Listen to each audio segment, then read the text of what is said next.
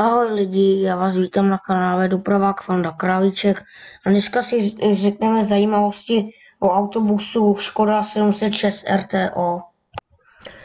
Autobus Škoda 706 RTO je typ československého autobusu, který byl vyráběn v národním podnikem Karosa mezi lety 1958 a 1972. První prototyp, proto, typ již od roku 1956 ve výrobě byl nahrazen vozy karosa z řady Ash. V Polsku byl ale lecičně vyráběn pod označením Jels 272 a Jels 041 až do roku 1977. V Československu se na výrobě autobusů 706 RTO podílely podniky Lias, podvozek a motor, a karosa, karosérie a kompletece. Od roku 1958 byly ve státních výrobnách autodíly SVA v Holišově.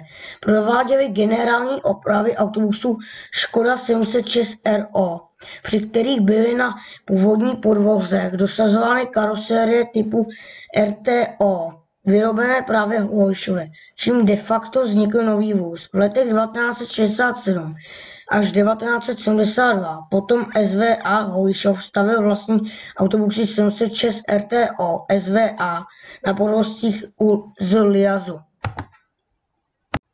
S výrobou autobusů Škoda 706 RTO skončilo ve Vysokém mítě v 70. letech od roku 1964 do roku 1968.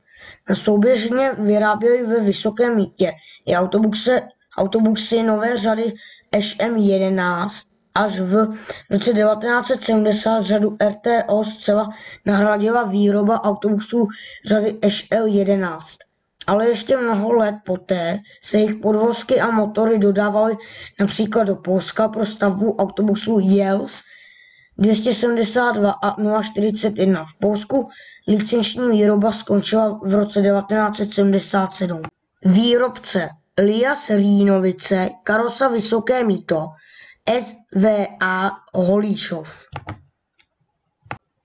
Délka celého vozu je 10 720 mm. Šířka vozu je 2500 mm. Výška je 3150 mm. Hmotnost je 14 400 kg. Označení motoru je Škoda 706. Druh motoru je čtyřtaktní vystový motor. Chlazení je kapaliné. Tak a jsme u konce. Já doufám, že se vám videjko líbilo, zajímavosti. První zajímavost vlastně stříhaná na počítači.